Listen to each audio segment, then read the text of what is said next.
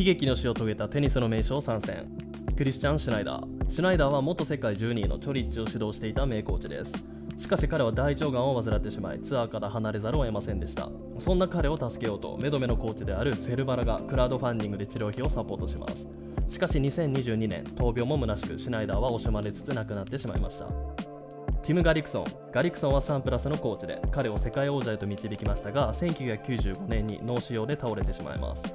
全豪オープンでクーリエと戦っていた5セット目でファンからコーチのために勝てよピートと声をかけられたサンプラスは涙を流しました。それから1年半後にガリクソンは亡くなってしまいます。ピーター・カーター。カーターはスイスで当時9歳だったフェデラーと出会い彼のコーチングを始めます。しかしカーターは2002年妻と一緒に向かった新婚旅行中に交通事故で他界してしまいます。この知らせを聞いたフェデラーは悲しみに暮れましたが翌年ウィンブルドンで初優勝し天国へトロフィーを届けています。